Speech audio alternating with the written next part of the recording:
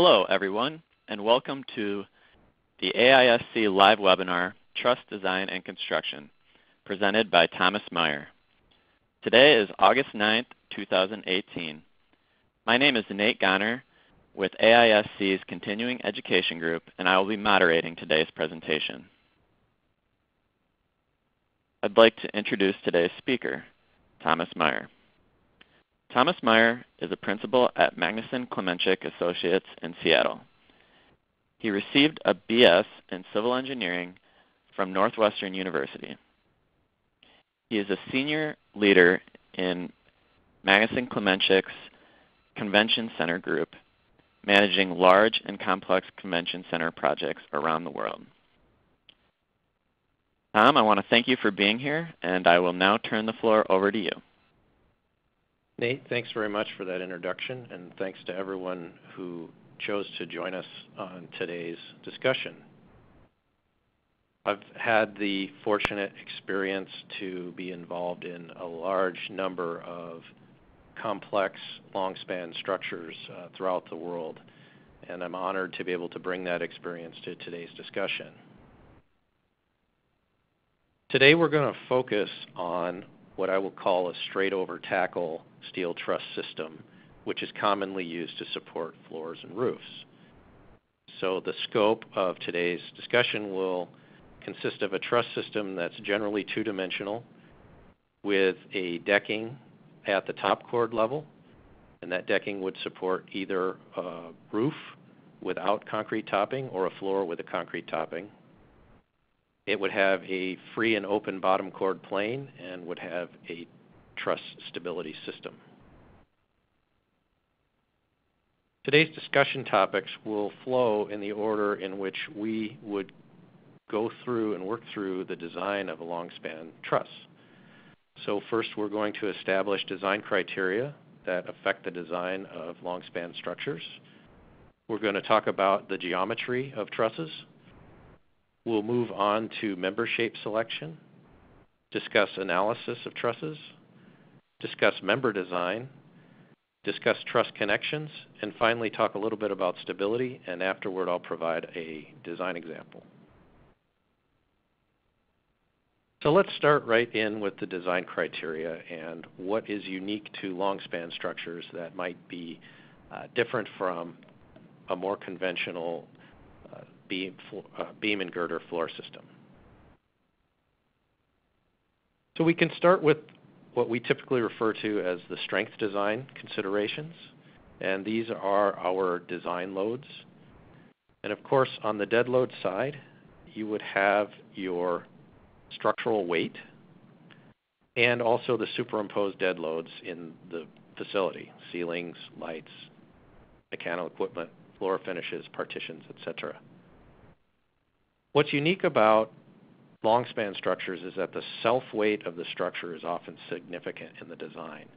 And in addition to the weight of the members, the connection material weight often becomes important. After we determine our dead loads, we move on to our code prescribed uniform live loads. But often long span structures have unique facility specific uniform live loads. In the world I I design in convention centers, it's common that an exhibit hall floor has a uniform live load of 350 pound per square foot. This is typically not prescribed by the building code, but it is facility specific.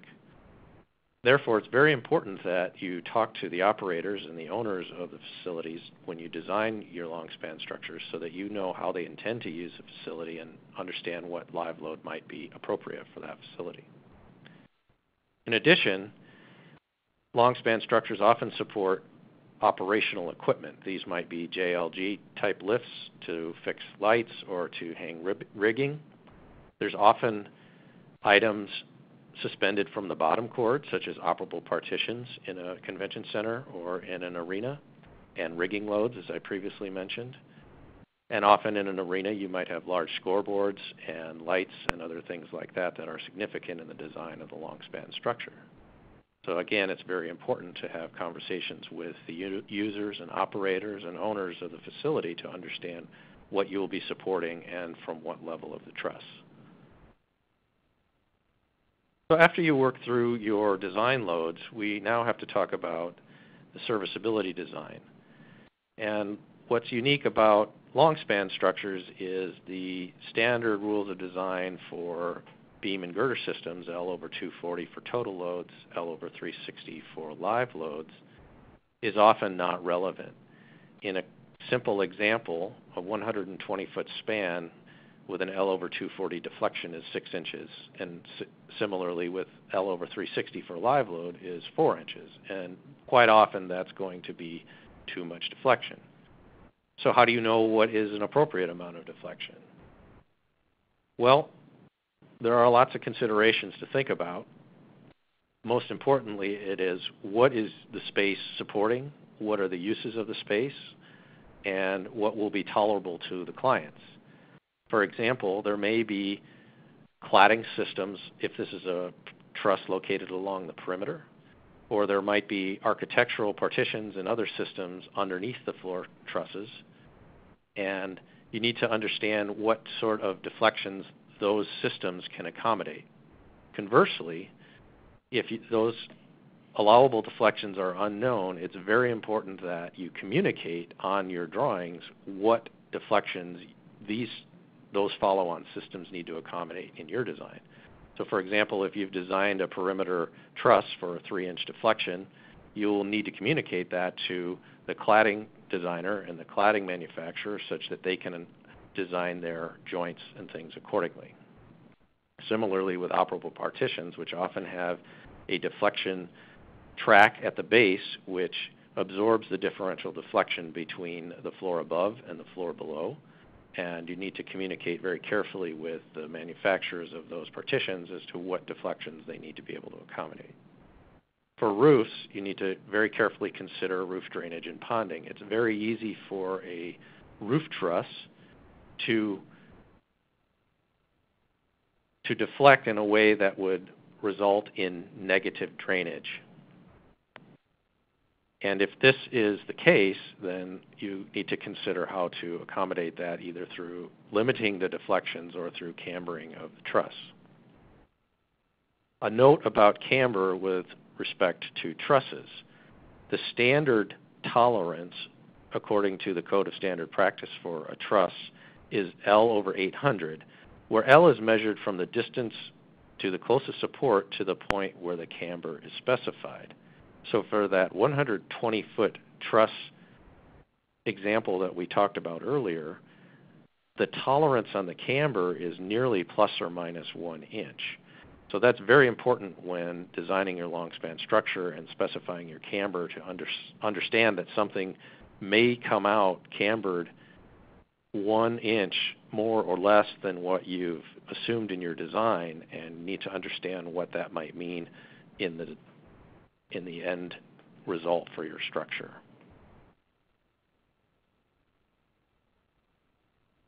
So there are the deflection side of things.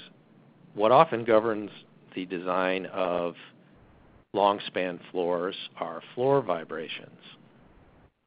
And what we use for the acceptance criteria in evaluating floor vibrations is Design Guide 11. I have a picture of the first edition on the slide. However, there is a second edition that has been issued. So you always want to consult this when you are beginning a long span floor design. From that, the acceptance criteria would depend upon the space that you are supporting. Airports and shopping malls, for example, have an acceptance criteria of 1.5% G, and those are the accelerations that occur when a person or people are walking on the floor. Similarly, pedestrian bridges have acceptance criteria. If it's an indoor pedestrian bridge, it's typically 1.5% G, and an outdoor pedestrian bridge would be 5% G.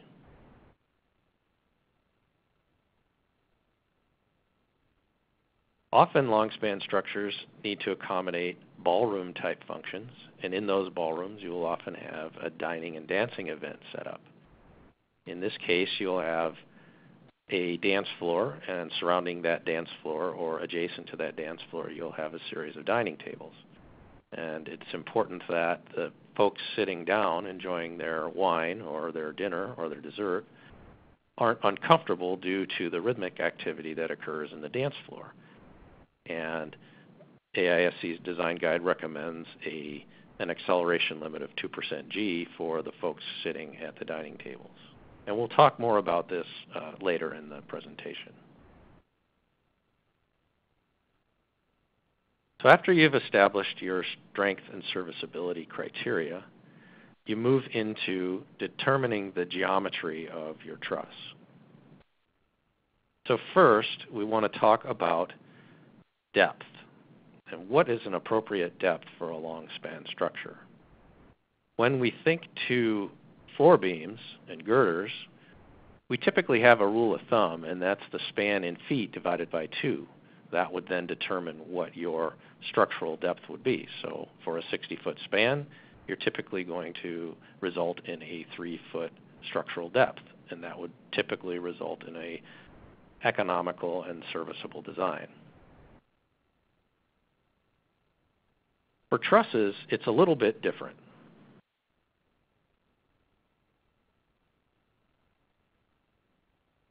The truss, for, for optimizing a truss, we typically will plot an optimization curve where on the bottom we'll plot the depth and on the vertical axis we'll plot the weight.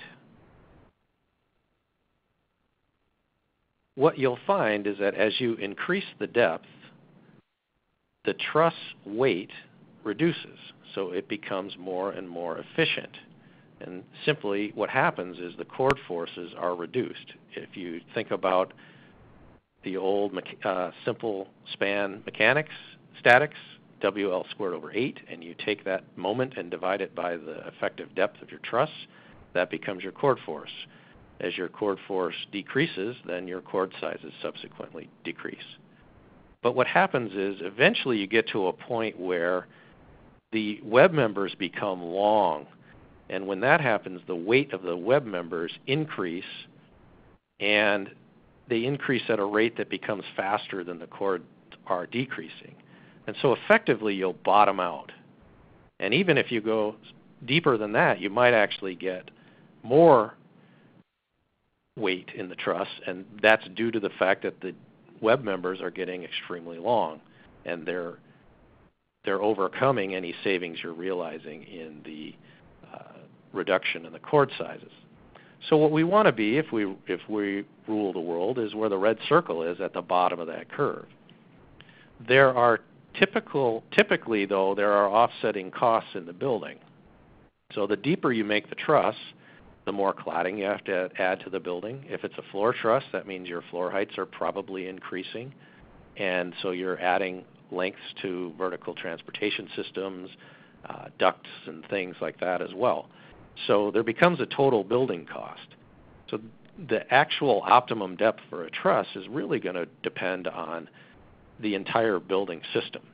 And so these conversations need to occur with the contractors, with the other uh, consultants on the project, with the architect to arrive at what the most optimum depth is for this truss system. But typically you're going to want to be in the portion of the curve where it's flattening out and not in the portion where it's steep. And so from that, over time, we've developed some general rules to think about in terms of span to depth ratio for trusses. And for a roof truss, that relatively flat portion of the curve occurs at a span to depth ratio between 12 and 15. So if you're in a preliminary design meeting with your architect and you're talking about a roof truss and they ask you the inevitable question, how deep will that truss be? you can get yourself pretty close to the ballpark by uh, thinking about L over 12 or L over 15. Similarly, for a floor truss that's strength controlled or not sensitive to floor vibrations, that relative flat portion of the curve occurs at a span to depth ratio between 8 and 10. And for a floor truss that's vibration controlled, that span to depth ratio is 6 to 8. So vibration controlled trusses are often very deep in order to keep them reasonably economical. Again, you want to avoid those cases where you see significant increases by decreasing the depth. So where you're uh, above 15 for a roof, above 10 for a strength controlled floor truss, and above 8 for a vibration controlled floor truss.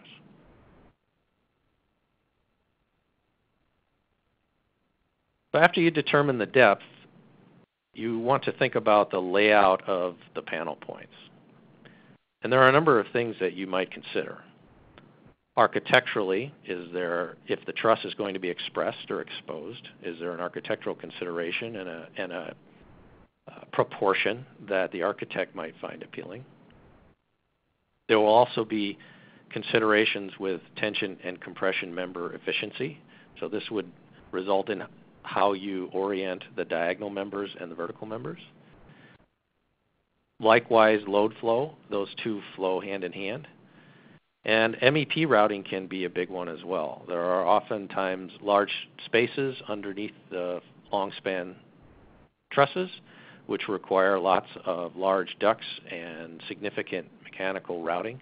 And you need to coordinate the routing of those ducts with your trusses. And often that might require special panel point layouts in order to accommodate the mechanical routing.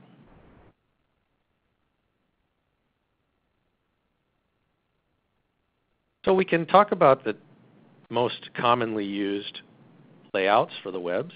We have the Pratt truss, and the Pratt truss takes advantage of putting the longest diagonal members in tension, and the shortest vertical web members are in compression. This is true of a uniformly loaded simple span truss, such as the one shown here. And in this case, the load flow is through both the verticals and the diagonals of the truss. The Howe truss takes that idea and flips it on its head and puts the longer members in compression and the shorter members in tension. And this can get the load to the supports a little bit quicker than the other layout and can often be an economical truss as well. Finally, we have the Warren truss. And in the Warren truss, the diagonals resist both tension and compression. And in this type of a truss, the load flow stays in the diagonals, and the verticals are there to, to either reduce the unbraced lengths of the chords or to to resist a point load or something that might be coming in.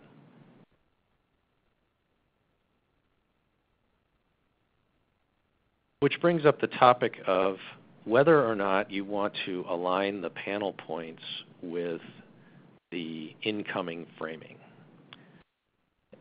In the top picture, you can see that the incoming framing do, do, does align with the panel points, and this is often a good arrangement but it's not always efficient for the truss to try to make everything time out perfectly. And so sometimes you end up with the situation in which the floor framing is not perfectly aligned with the panel points of the truss. And so what does that mean? Well, we did a couple of examples, and in the one shown here, we have the same truss, the same loading, except that in the top picture, the point loads, the incoming framing is aligned with the panel points. And in the bottom picture, the incoming framing doesn't align. And there is only a small difference in the truss weight, about 0.1 ton. And what that suggests is for a uniformly loaded truss, you're going to see similar results either way. And so the suggestion I would have is if you can align and still result in roughly 45 degree web members, then I would say go for it. If you can't make that work and you have to have to shift the beams off the panel points, I would say don't lose too much sleep over it unless you have a large incoming point load, and then you're going to want to align the panel point.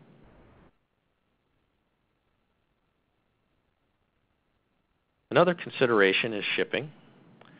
So in the pictures you see here, we have a truss that's arriving to the site completely prefabricated in the dead of night. The road's closed in the middle of the day, and the truss is picked and erected in one piece. This is not often feasible. And often the trusses are shipped to the site in pieces. And so the slide you see here is not a hard and fast rule. Every state has different requirements. Every site and every project will have different requirements. So it's very important to have conversations with your contractors uh, to understand what the shipping limitations are in your particular instance. If you don't have any access to to the contractor and you need to make some assumptions along the way, these are some rough dimensions of what can fit on a truck uh, in one piece. Again, not hard and fast rules, but it provides you a good starting point if you have no other information to go on. And the picture on the bottom is not very common, but I suppose it can be done.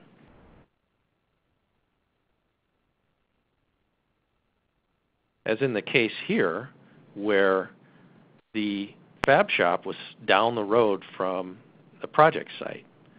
And so in this case, we had our 90 foot floor trusses shipped to the site in one piece and erected.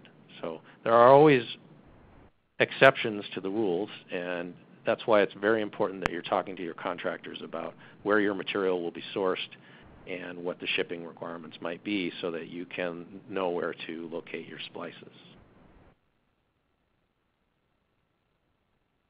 So now let's talk a little bit about member shapes and what considerations do we go through when we choose the shapes of the members that we're using for our truss.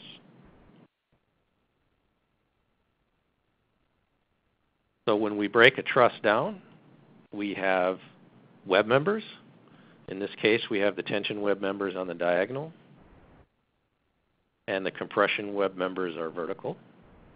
And so let's talk about what shapes are often used for web members. The most commonly used shapes are double angles. You also use hollow structural sections and wide flanges. And what might drive the, the selection of a shape? Quite often, architects may want to weigh in on this. If it's again, if it's an expressed or exposed truss, they might have an opinion.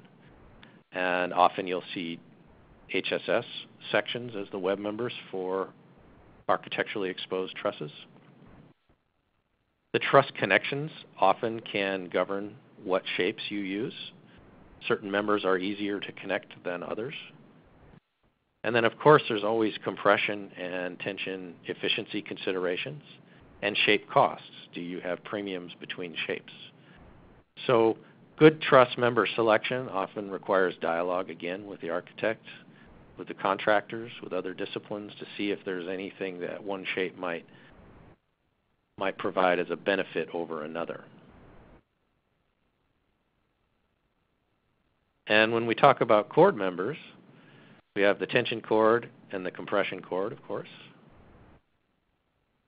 And again, we have some considerations with respect to how we choose the chords. Commonly used sections are wide flanges, HSS, and WTs. Again, we have architectural considerations, truss connection considerations, shape costs, incoming member connection considerations, and alignment considerations. And we're going to illustrate the bottom two for you.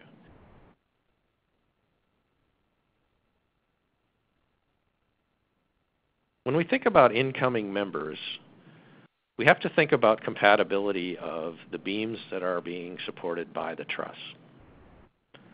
In this example, we have trusses that are spaced widely apart. And it's very common to use a W14 chord as your compression chord because it's an excellent, efficient member to use for compression. That's why we use them as columns. But if the trusses are far apart and the beams need to be deep relative to that W14 chord, you can have some interesting looking end connections if you haven't thought about it in advance. And so there are ways to mitigate this. One is to deepen the chord. Perhaps think about heavy W36s or heavy W24s. Another might be to offset the, the chord and place the beams on top of the chord. Just things you need to think about as you're selecting the member shapes and the profiles. We also have alignment considerations. Are you aligning top of steel as you would be in a top chord that's supporting decking? In that case, you're going to have eccentricity at the bottom only, where you have an offset between the flanges. And this happens when you change chord sizes at a splice. The bottom chord might often be centerline aligned, which you see on the right-hand side. And in that case, you don't have an eccentricity, but now you have a potential misalignment of both the top and bottom flange. Well, these are easy to deal with, and what it means is that you typically will have filler plates. And in the case on the left, you would have a relatively thick filler plate here on the bottom. And on the right, you might have relatively thin filler plates, but you have them both on the top and the bottom. And you need to consider that in the design of your truss and in your truss connections. So after we've figured out what member shapes we want to consider, we go through and talk about how to analyze the truss. And probably the biggest debate or question we want to ask ourselves is, do we consider fixity at the member ends? If we think about the chords and we look at a typical chord splice, like the picture on the left, we can very easily see that that, that, that particular truss or that particular connection has a good deal of fixity to it. And so when we model chord splices, we would typically model the fixity at that connection. When we look at the web member, in the case of the double angles, well, there is some fixity there. However, we would often consider that as a pinned connection, especially when considering the strength design. For serviceability, we might think about whether or not we can consider that connection fixed as we're thinking about the relative magnitude of the applied load that we're considering in the serviceability case as we might in a vibration analysis. Another question that comes up is, do you consider composite action between the slab and the top chord in compression? You certainly can. Uh, we don't always do this. Sometimes we rely only on the bare steel, and sometimes we can we try to take advantage of the composite action depending on the case. What's really important though is if you are taking advantage of the composite action that that's clearly communicated in the drawings because uh, opening cut near that truss in the future would compromise the load carrying capacity of the truss as it would in a floor system that uses composite, composite design. You just need to make sure that it's clear on the documents that this truss design did consider that composite action so that someone in the future can understand that when they're analyzing a modification to the structure.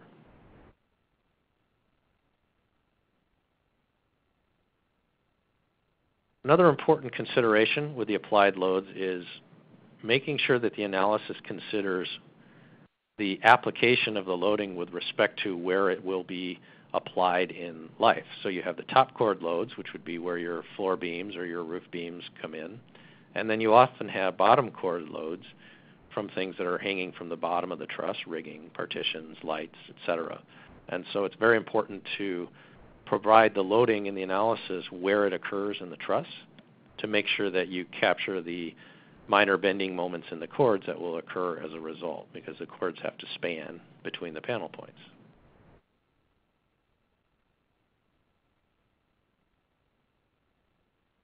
So now we can talk a little bit more about floor vibrations.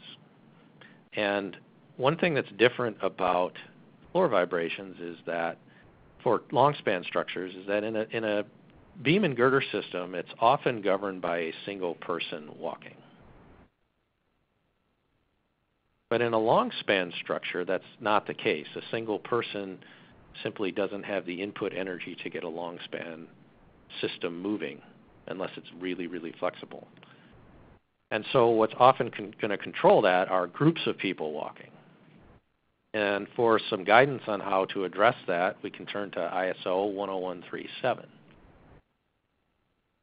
And this criteria is for uncoordinated group walking or not in unison, so the opposite of a marching band. So the point here is that it's not a um, everybody walking at the same frequency and not a rhythmic type input.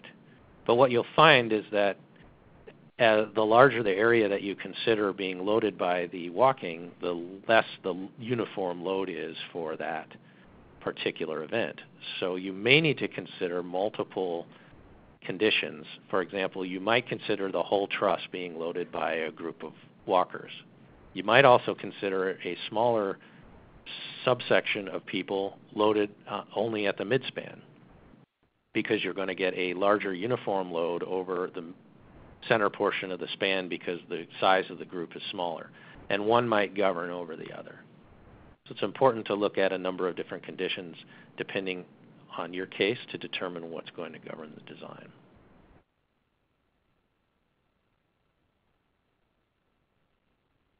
Then we have, as I mentioned before, floor span floor structures and long span structures that are subject to rhythmic excitation, such as a dining and dancing event. There are three types of analysis we can do. We can do a basic hand calculation, and that is outlined in Design Guide 11. Again, this is a picture of the first edition, and now a second edition has been published, so you want to consult the latest edition of that. And this is a generally simplified method, very easy to calculate. You can do it by hand. You can do it rather quickly. Uh, the downside to it is it's relatively conservative uh, compared to other methods. It's effectively based on loading the entire span at once. You can make some provisions to reduce the loading for a partial span condition. However, it's a very simplified approach. There's another approach which provides modified hand calculations, and that is a little bit more refined and it also considers partial span loading. And then finally, you can do three-dimensional finite element modeling. In this case, you can apply, build a, a finite element model uh, and consider the three-dimensional stiffness of the structure. You can consider composite action with the slab, and you can put the input in the location that you deem as worst case, or perhaps you've discussed with the facility owners where the input exactly will occur, and you can analyze it in a specific location. And from that, you do a steady state analysis, and you can predict the accelerations due to the input.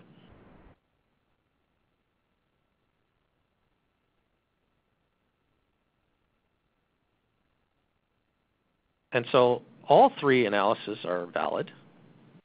You can implement any of them. However, you will get different results when you do. So with the basic hand calculation for a given case, the predicted floor acceleration was 10.6% g. We did the modified hand calculation and we predicted a floor acceleration of 4% g. And when we did the dynamic analysis model, for the same activity and the same input, it predicted a floor acceleration of 2% g. So like anything, the more detailed the analysis, the more refined the results.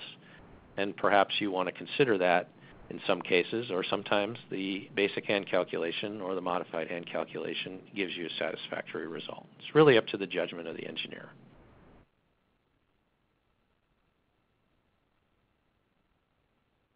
So now let's talk about member design.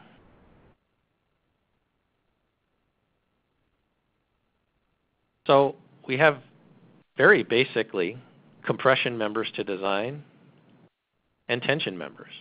And as I mentioned before, you will get bending moments in the chord members, and so you need to consider the combined effects of the axial and bending forces, and you simply determine those forces and design per AISC 360 criteria. The design of the members is probably the easiest part of the truss design.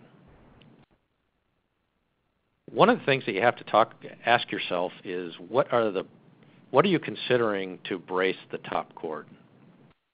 This is really important as it can obviously affect the size of the top chord. So in this example, each of the beams is assumed, each of the floor beams is assumed to brace the top chord. So therefore you're going to have a weak axis flexural buckling length of that chord of 10 feet or whatever the beam spacing is in this case. But what that means, though, is that every one of those floor beams then has to be designed for the axial loads associated with bracing that top chord. So maybe there's a trade-off in accepting a larger spacing of the bracing points, and then maybe you're only considering the axial force in a certain number of those members. It's up to your engineering judgment. Either are valid, but you need to make sure that you follow your assumption all the way through to conclusion.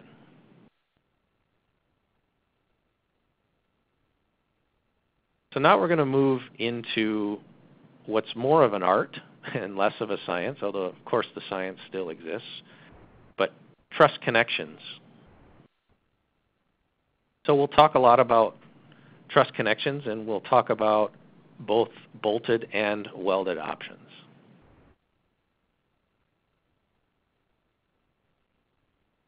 So for bolted truss connections, the things we want to ask ourselves are, what are we going to use, standard holes or slotted or oversized holes for fit up? What grade of bolt are we going to use? What bolt diameter? Are we going to use a consistent bolt diameter or vary, vary the bolt sizes? Are we going to use slip critical or bearing bolts? Are we going to use N or X bolts? all the same types of connection, uh, questions you'd ask yourself for any connection design, but it's really important in trusses that you consider this carefully. My recommendation would be to have conversations with fabricators and erectors and contractors if, if they're available to you on the project because they'll all have their preferences. Uh, I can give you an example, one project I'm working on right now where we are using all one and a quarter inch A490 X bolts and another project in another part of the country, we were using all 1-inch A490 slip critical in oversized holes. So every contractor has their preference, and so it's important to have that discussion with the contractor. It's also very important that you choose an approach and try to be as consistent as possible in the in the all of your connection designs. Choose one bolt diameter, choose N or X, choose slip critical or bearing bolts, and just be consistent.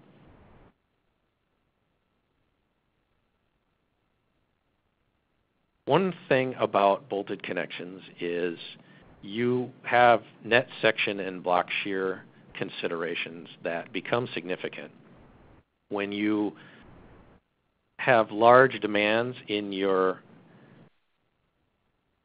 in your axial members and you're going to splice those and you need a lot of bolts to put in to put in to resist the forces, then you end up taking a lot of the net section away.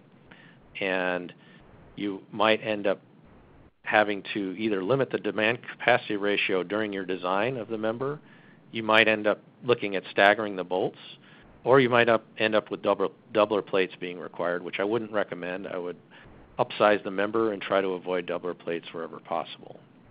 Another thing to consider is weld access if the bolts don't fit.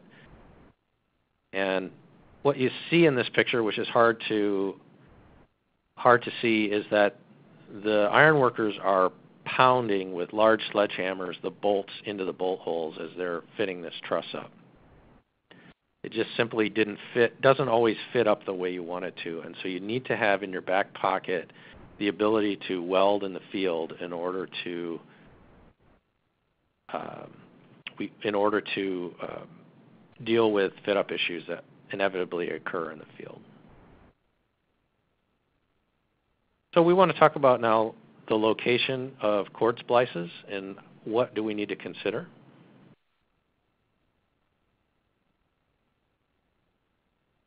First of all, we want to ask ourselves, are we bolting it or welding it? The welded splice is pretty straightforward, but the bolted splice has a lot more considerations.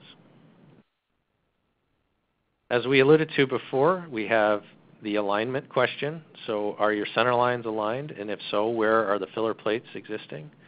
Or is the top of steel aligned and do you have a large filler plate at the bottom? And if it's larger than a quarter inch, obviously you have considerations that need to occur in terms of the design of that bolted connection. In this example, when you aggressively change the chord size like we see here, you have a very thick filler plate. And so in this case, we, we might have either used a reduced bolt value or we might have welded that shim or that filler to the, the um, member to develop the force, or we might have provided extra bolts in accordance with the AISC requirements. So when you locate the chord splice, you need to consider a number of things. You need to consider that these splices become quite long. If you look again at that example, that splice is probably several feet long. And so it can very easily conflict with other things in the, either in the truss itself or with incoming members or with MEP systems. So you want to very carefully locate your chord splice with respect to all of the other things that are going on in your structure.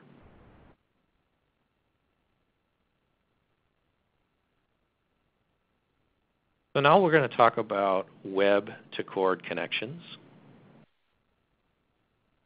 And the philosophical question you ask yourself is, do we gusset or not gusset?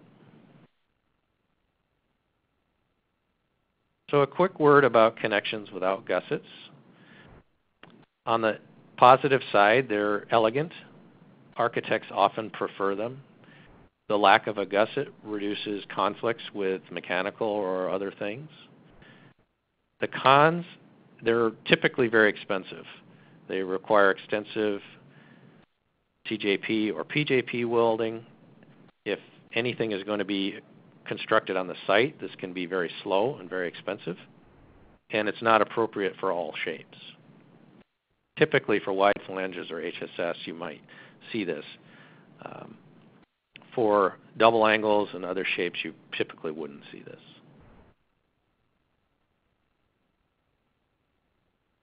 So the advantages of the gussets are you can do them bolted or fillet welded. You can uh, they often are faster on the site. Uh, the cons on the downside is that the large gussets can often conflict with MEP routing and make you think harder about core, uh, splice locations and other things in incoming members, as we mentioned before.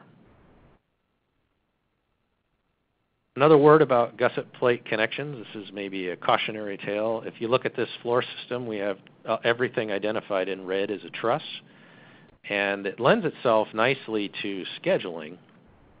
So in this case, the way we did it was we elevated the truss on each web member, we indicated the number of bolts, and then in the table, you would find the number of bolts and then find the angle of the web member, and then you would get all of your connection get all of your connection information from that. The downside of that is if you this can be easy to produce in, an engineering uh, world. Uh, can be quick, can be efficient. You can do this via spreadsheet. It's easy to document. However, if you aren't carefully checking your geometries, you can very easily end up with something that looks like this. While it works, technically, it's probably an example of what you wouldn't want to do. Uh, and so you want to make sure that if you are scheduling all of your gussets, you're actually taking a little bit of time to draw the gusset so you understand what that geometry really looks like.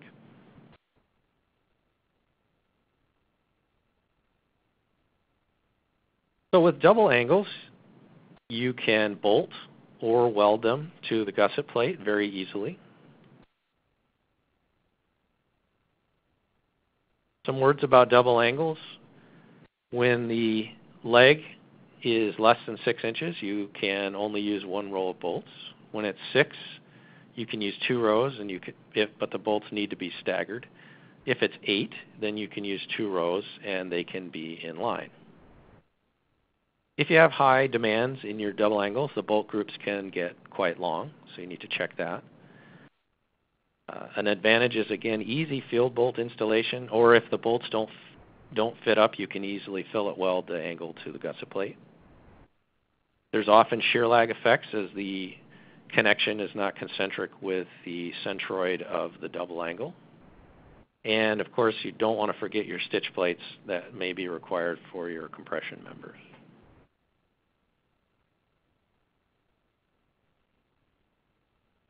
So with HSS connections, you can again bolt them or weld them to the support.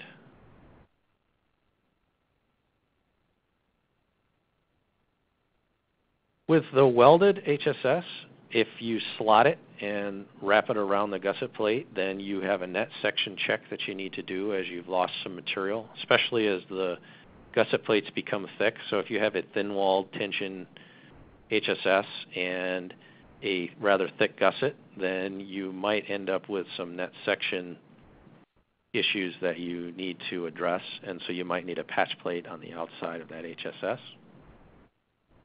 This is nice because you can weld it in the shop, but it also might mean that you're doing a lot of field welding if the members are brought out in pieces and it's it's erected on site.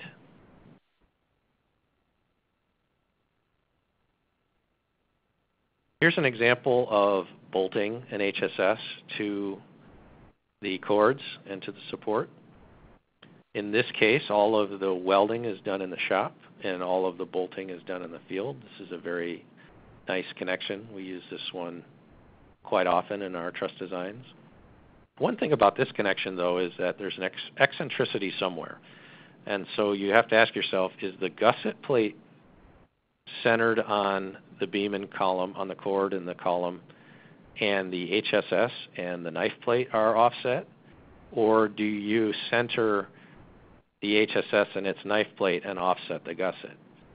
So it's a question you have to ask yourself and probably communicate on your drawings what your assumption is. Otherwise, you can be sure that that might be RFI number one.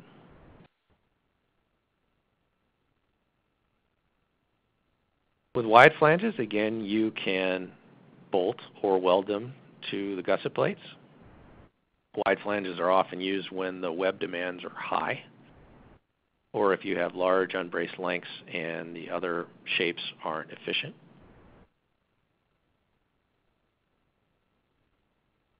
Some pictures here. So things about wide flanges is you can get a large number of bolts per row if you have a st uh, stock EW14, for example.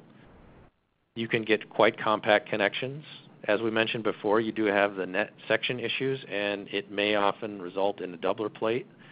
So the word of advice is to make sure you're doing those checks and upsizing members to avoid doublers wherever possible.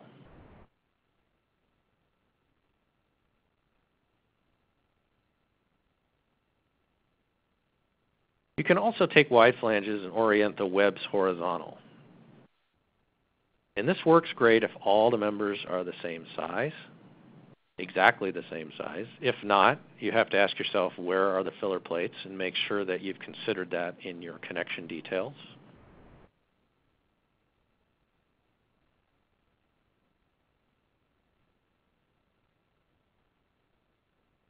Another thing, another way to connect that would be to weld the gusset directly to the flange this works sometimes if the member geometries work out just right. However, if you're varying your webs and your chord is not varying, you can often run into a case where that gusset plate doesn't sit nicely on the flanges of the chord, and so you need to really think hard about those connection details.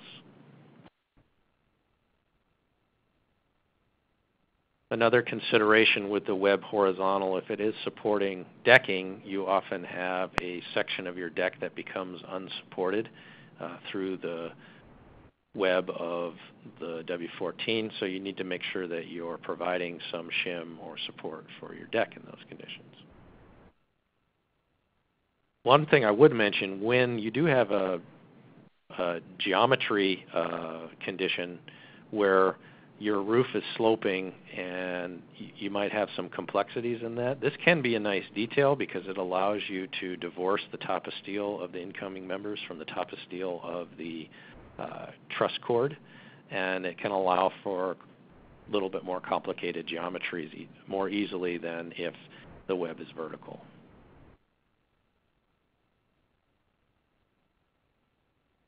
Truss end connections can be designed similar to vertical bracing connections, and there's very good guidance in Design Guide 29 about how to go about this connection design.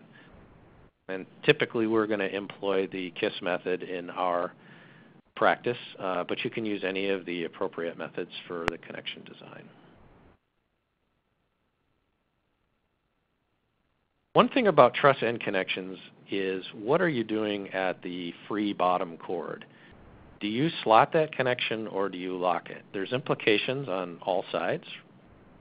So typically the truss end rotation is taken up by elongation of the chord members, and the rotation then occurs by allowing the free bottom chord to move relative to the support.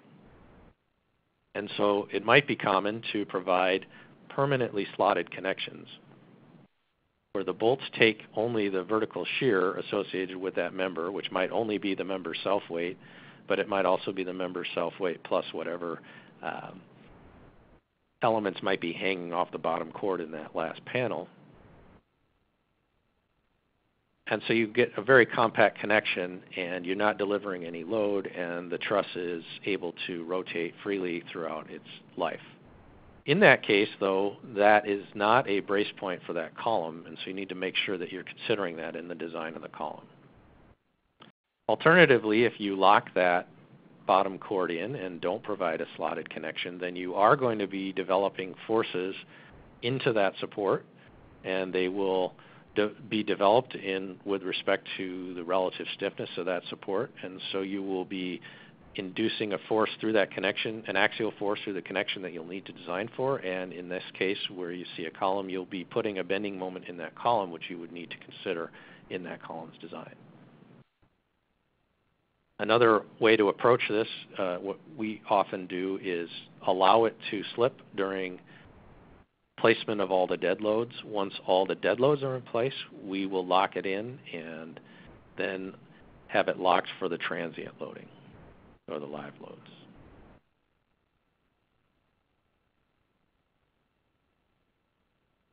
So one thing about truss connections is that the material weight can become significant. If you look at the picture on the left, that's what's often bid is members with no connection information. For example, if this is a delegated connection design project, the, there is no connection information. There may be an indicative detail or two, um, but there are no bolt counts, there are no plates, so there's not a good way to, or, you need to consider what the connection material means in terms of the weight of the truss because the final design looks something like the picture on the, light, on the right with all of the flange plates and the bolts and the gussets and, and what have you. And so a well-proportioned truss, the connection material is often about 15% of the self-weight of the member. And when I say the self-weight of the member, what I'm talking about there is the centerline lengths of the members from work point to work point. If you add all of that up and you come up with a weight for the truss, and then you add 15%, then that would give you the total weight of the truss. Those connection factors can increase quite rapidly if the truss resists really high loads or is poorly proportioned and you have really large gusset plates and lots of bolts and lots of uh, stiffeners and things like that.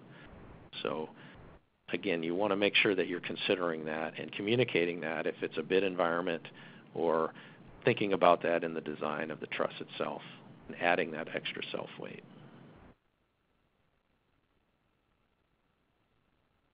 So we can move on and talk a little bit about stability considerations for our trusses.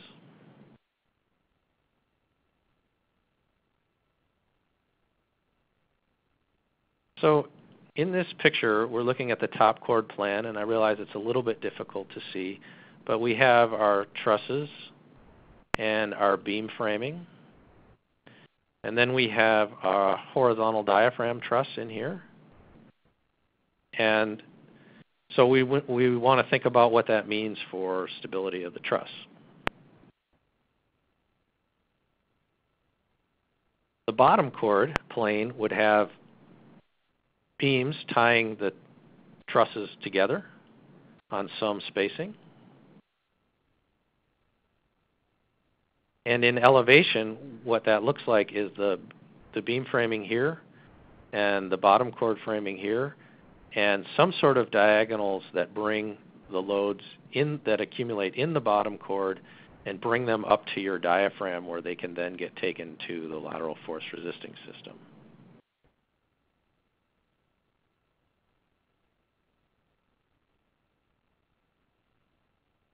So what are we trying to do? We're trying to limit the twist of the truss. It also provides lateral bracing at the compression chord and provides torsional bracing to connect the tension and compression members and stability to brace the compression web members.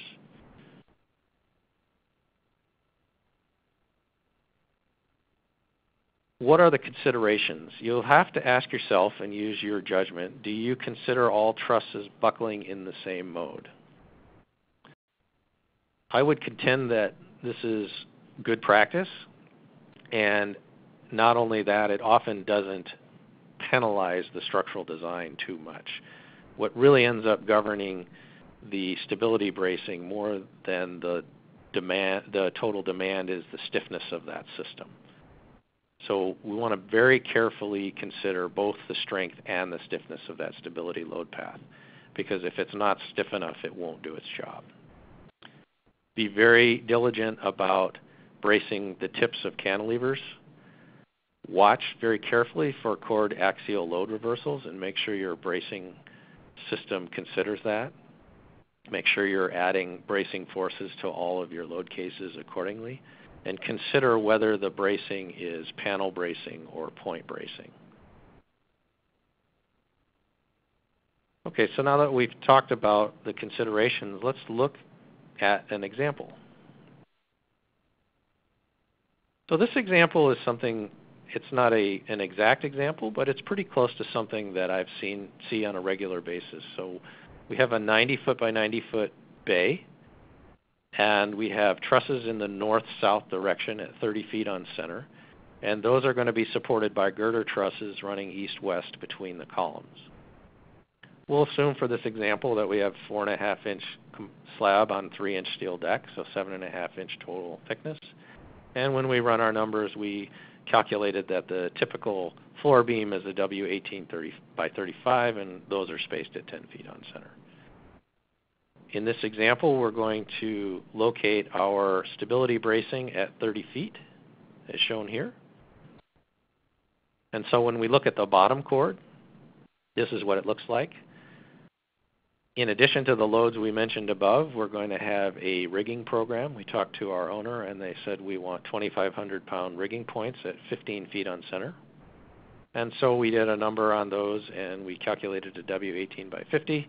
And again, the bottom chord bracing is 30 feet on center.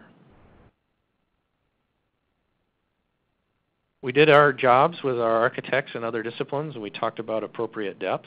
So for this example, we have 10 feet of overall structural depth, so our span to depth ratio is 9, and that's right within the uh, wheelhouse that we talked about earlier. One thing that is important is when you are talking about truss depth and structure depth with your clients, um, what are you talking about? Are you talking about the overall depth or are you talking about the effective depth? And make sure that that's communicated very clearly to the client when you're having the conversation. If you say 10 feet, do you mean the overall depth or do you mean the center to center of your chords? Uh, because that can be a point of miscommunication very easily. And so in this case, I'm assuming it's the overall depth. And what does that mean? It means our effective depth, I'm going to estimate in this case, is about 7 feet 10 and a half inches. And how I got there was I took the 10 feet overall, I subtracted out the 7.5 inch slab depth, and then I assumed that these would be relatively heavy W14, so I offset another 9 inches to the centroid, and that assumption can be verified and refined later in the analysis. But for the, for the purposes of this conversation, we'll assume that it's correct, and we'll assume that 7 feet 10 and a half is our effective depth. When we look at the elevation of the truss, we, we know that it's 90 feet long, and we assume that we're going to have to ship this to the site in two pieces. And so we've located a splice midway between the fourth panel point from the left. And we're looking at a view of where the applied loads are. We have the rigging loads on the bottom chord, and we have the floor loads on the top chord.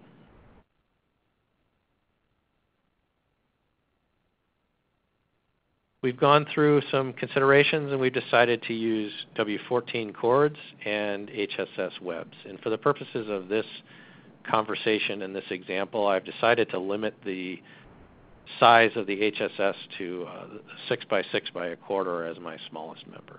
That's arbitrary. Uh, you can choose your own limits or design to the most efficient shape at your discretion. So again, a summary of our loads. Slab on deck, 75 pounds per square foot. The steel framing self weight. We have a ceiling MEP miscellaneous load allowance of 10 pounds per square foot. We have the truss self weight. We have a uniform live load of 250 pounds per square foot. And we have the rigging per the previous diagram.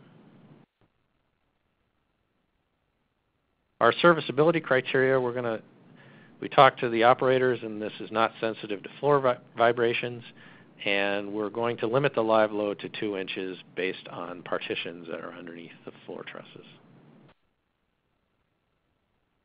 Here's a picture of our dead loads. The, they're applied in the analysis model where they're going to occur. Again, we have the top chord loads and the bottom chord load. Again, with the live loads, we have the same picture. So we, we treat the rigging load as a live load in this case. First thing I always like to do is a quick hand calculation using simple statics. So we can treat this as a simple span beam, put our applied loading on it, develop our shear and moment diagrams, and use this to estimate our member sizes before we really do a refined analysis. So we, before we turn the computer on, we want to know where we're headed. So in this case, when you do that, the end shear is 667 kips, and you can use the geometry of your panel points to work that into a design load on the tension on the on the end diagonal. And so that'll give you a rough sense of of your largest diagonal member because the shear will be obviously the vertical component in that in that member. We calculate a midspan moment of 16,750 kip feet. These are ultimate loads under a load case of 1.2 dead and 1.6 live. And so when we estimate the chord force, that works out to 2,130 kips. So it'd be important that when we do our analysis that we get results that are similar to this and that we go back to this hand calculation. They won't be exactly the same, but we want to use this as a way to cross-check our computer analysis.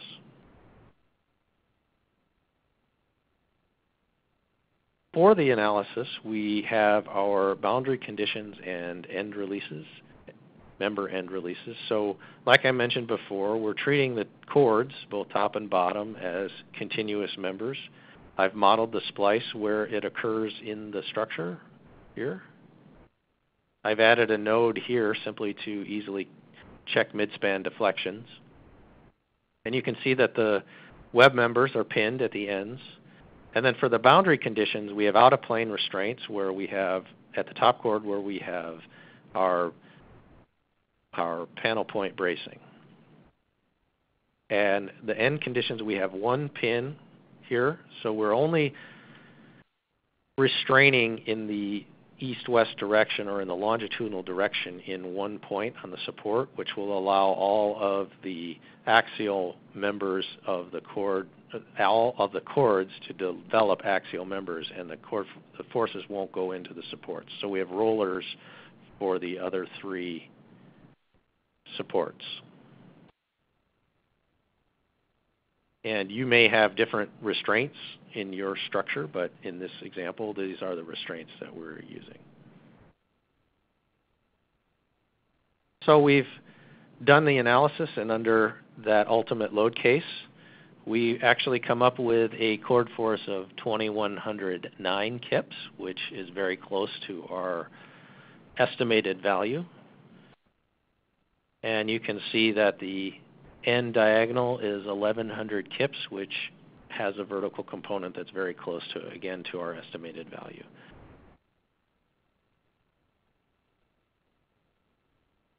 If we look at the moments in the members, you can see that the, the chords do develop some moments and they're relatively decent sized.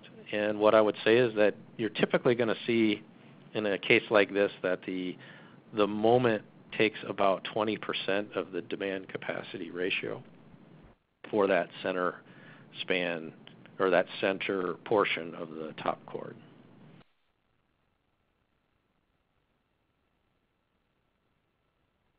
So in our design, what I've assumed for unbraced lengths in the top chord for the strong axis, which should be in the plane of bending, I've assumed that the panel points brace that chord. In the out of plane, I've taken the spacing of the panel points at 30 feet. Again, as we talked before, you could use each and every incoming member to resist the flexural buckling of that section, and you just have to make sure that you're very consistent with that load path all the way through. I have elected to conservatively assume that the, the intermediate beams aren't bracing that top chord, except for lateral torsional buckling.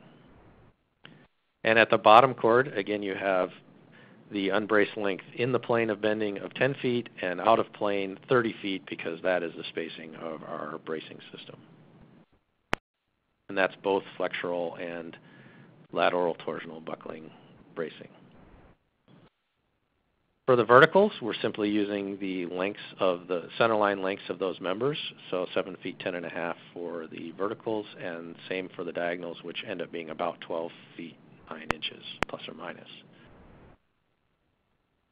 And so we go through the design and we use AISC 360 and we do our checks and we determine that the member sizes are shown. So we have a range of just a 6 by 6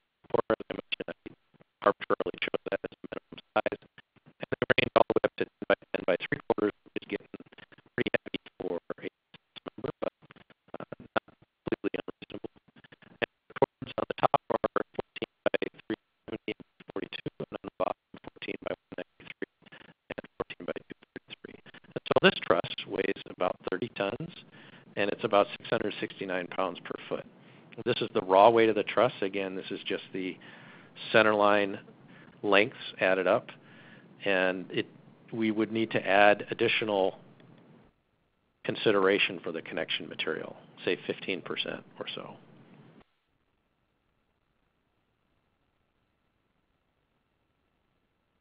So let's take this example and let's add a couple of transfer columns just to see what that does. So everything else is the same, but here we're going to add some columns and we're going to transfer those out on top of these trusses. And the magnitude of those loads are 300 kips dead and 200 kips live. So what, what this shows is our large point load being applied right here for both the dead and the live condition, and all the other loads are the same.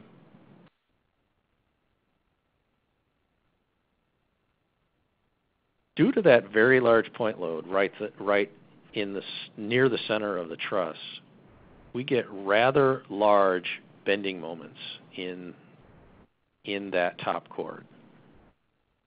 So 2,200 kip feet is a pretty large bending force. So is there anything we can do to mitigate that?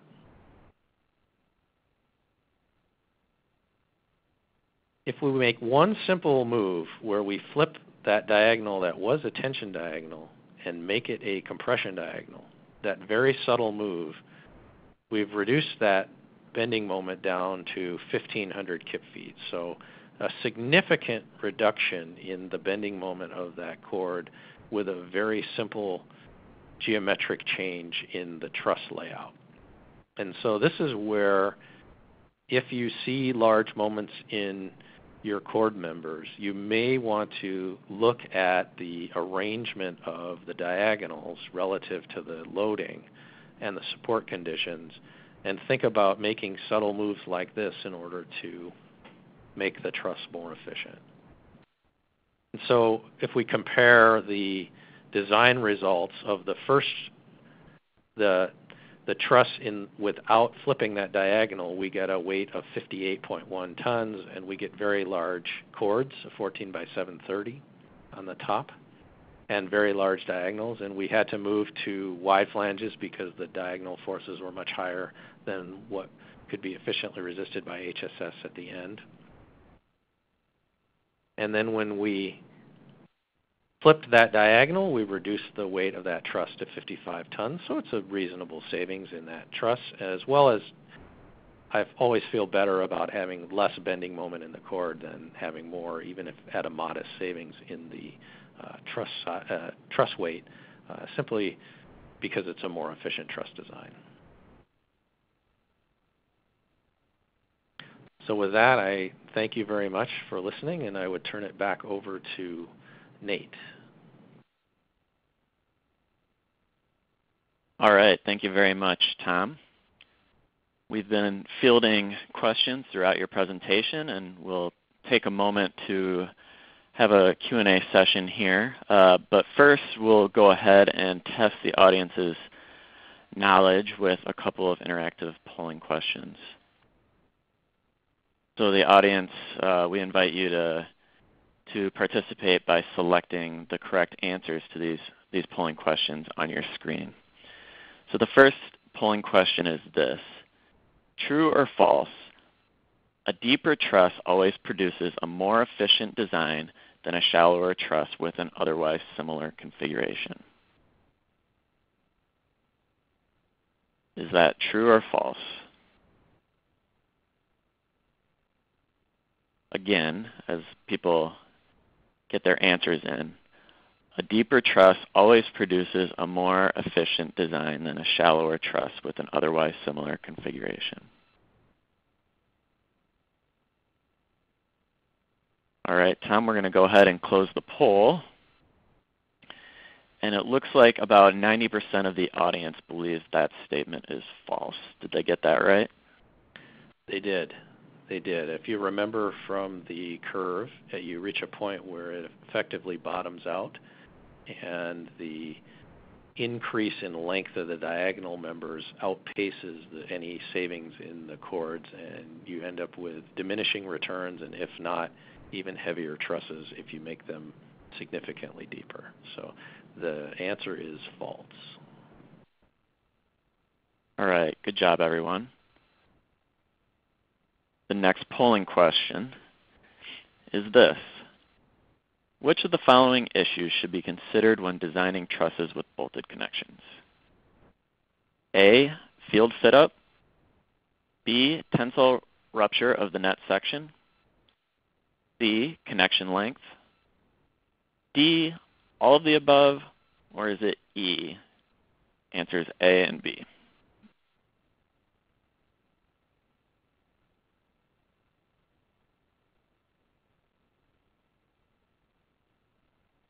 All right. Again, the question is, which of the following issues should be considered when designing trusses with bolted connections?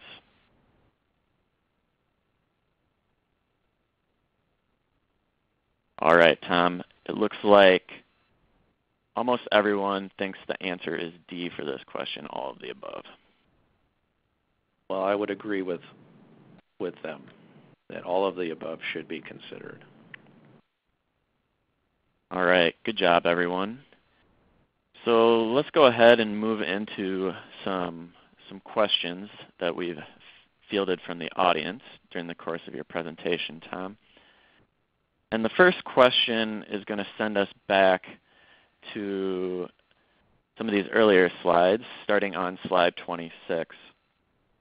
The question is, is can you elaborate on pros and cons of selecting Pratt versus Howe versus Warren trusses? And which, which of these do you typically use in your design? Okay, thanks. That's a great question. So Again, with the Pratt truss, the basic premise is that the longest web members are kept in tension.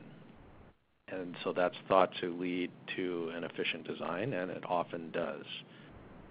So there really is little downside to this this method unless you have variable loading conditions, which might put some of the diagonals that you typically consider in tension into compression, and maybe then the compression ends up governing the size of that diagonal. Um, other than that, it's a very efficient truss, and it's used very, very often in uh, in building design, building construction. So if we move to the Howe truss, it's the inverse. Um, this is also very efficient.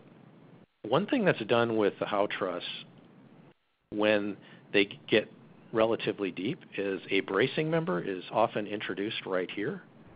And if the webs are oriented web horizontal, what that does is it cuts the weak axis bending, uh, weak axis buckling length of the diagonal in half because you get a buckling shape, uh, poorly drawn, but you get a buckling shape that does this. And that can be a very efficient truss design as well. You'll see these in arena roofs and things like that with very long spans and very deep trusses. Um, the nice thing about this is loads in, in the center are more quickly shed to the support. Um, and that's one of the advantages of this. It's just quicker load path to the support.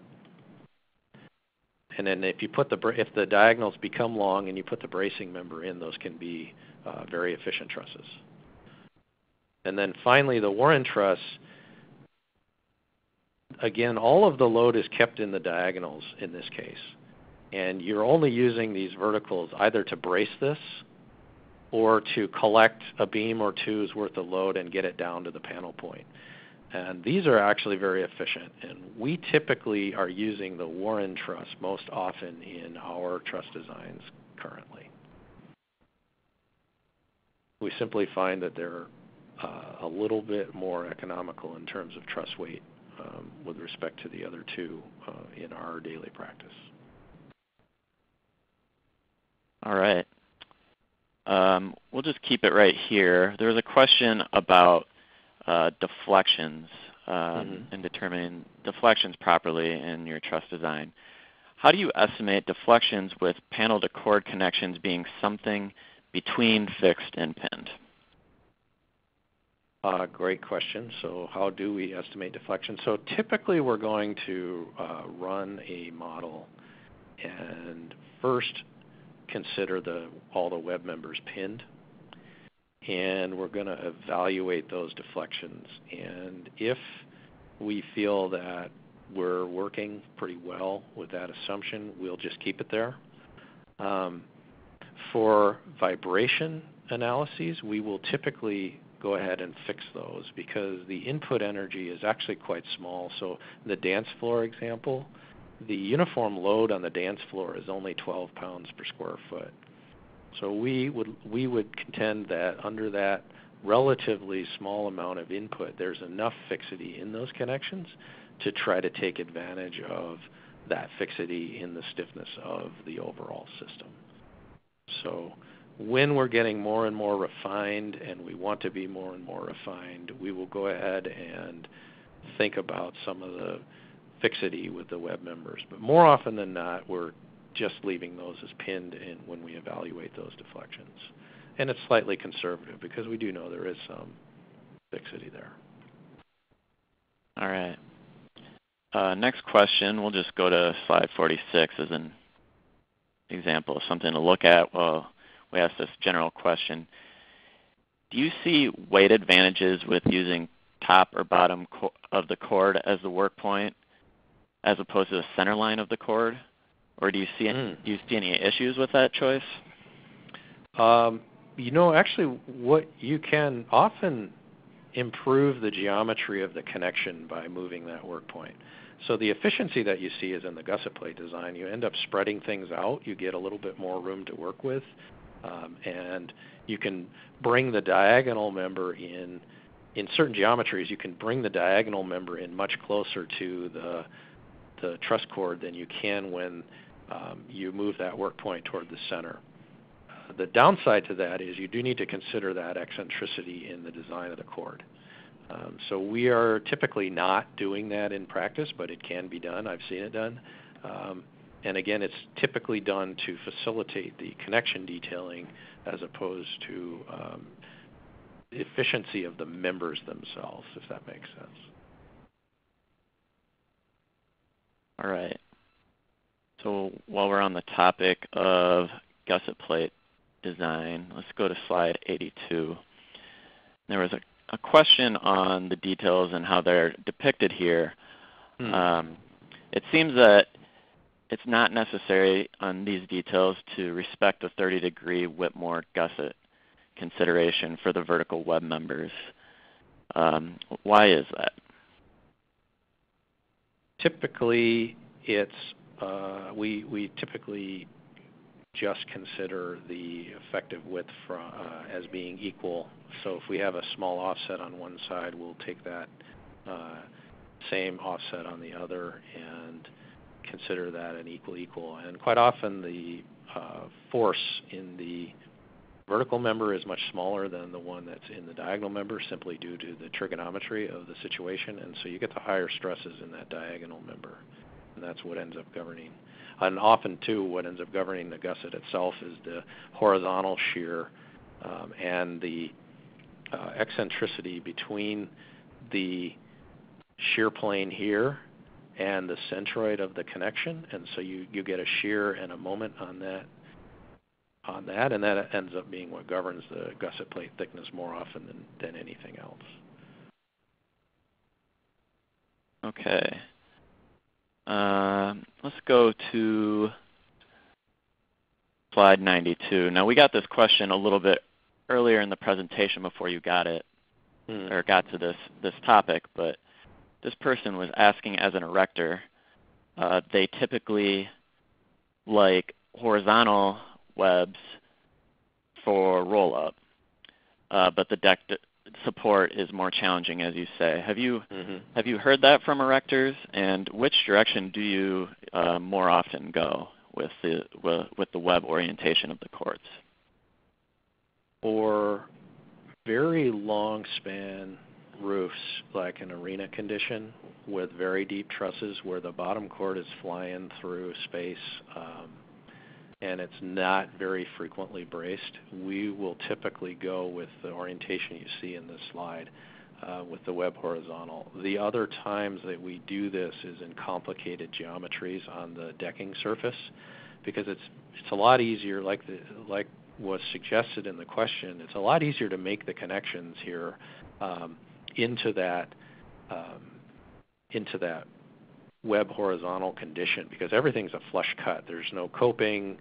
Um, it's just easy to slide the beams or bring the beams in, swing them in, and bolt them up. Um, and again, you, you, there's a small premium to pay with deck support, um, but in a complex roof geometry, you're doing a lot of deck shimming anyway, and so it's it's not really much of a premium because you're already doing it. Um, and so those are the situations when we see this most often for most conventional lightly loaded roofs and lightly ro- loaded floors with modest spans. We're typic- we are typically going with web vertical, but there's certainly nothing that says you can't do web horizontal in any and all cases. Okay. Next question on slide 106. Uh, the question is this. For the span to depth ratio rules of thumb from earlier in the presentation, were those depths considered center to center or out to out? Out to out, yeah. I, I, I tried to illustrate that. Maybe I didn't make the point as clearly as I had hoped, but um, when we are talking about that, we, unless you have a really, really thick decking system or something, um, we're talking about out to out in that conversation, so total structural depth. Okay. Next question. But that's why it's a very it's a very important conversation. That make sure that if you do, if you are saying 10 feet, uh, that and you are meaning center to center, that you're communicating the extra depth to others who might uh, um, be interested in that conversation. All right. So an, a question on K values for compression of the web members. Mm-hmm. Do you consider 0.9 or 1 or some other value? We typically use K of 1. We take the pinned uh, assumption and center line to center line length with a K of 1. That's our practice. All right. Um, here's a question, a general question, sort of came up on slide um, 95. Have you seen any increase of more BIM info earlier in the design process? Um, and how is that going for you on typical projects that you're working on? That's a, that's a great question. Um, we typically are not modeling gusset plates in our practice. Um, and it's important that we communicate that to all the disciplines. Um, sometimes we will modify a region to represent a gusset plate so that um, other disciplines don't think they have free access to the entire space. But it's a great conversation, and it's a conversation of whether or not project benefits from the extra effort associated with modeling all of the connection material in the gusset plates. Um, you know, our, I guess our approach at this point is to not take that on at this uh, unless it's warranted, and, and we have conversations about that. Now, there might be a, an occasional gusset or two that we model just to for uh, a very specific condition, but we're typically not doing that in um, in our design model or in our BIM model used to produce our design drawings. All right. Thank you, Tom uh, for answering those questions. That's actually all the time we have for today's question and answer session. A special thanks again to Tom Meyer for presenting to us today. And thank you all for your participation.